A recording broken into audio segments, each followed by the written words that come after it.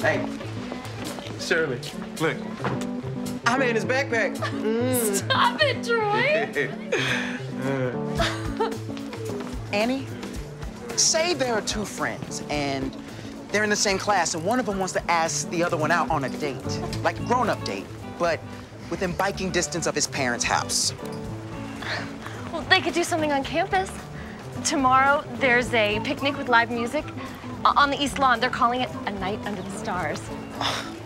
Cool. I bet Randy would love that type of thing. Randy?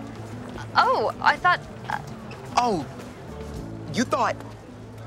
I can't believe I misled you like that. Listen, Randy can be the name of a guy or a girl. And in this case, it is definitely a girl. Thanks for your help. Welcome. And I hate you. And I want to have your children. Damn, I picked the wrong couple to fall out of class this morning. Jeff and Britta are dead air.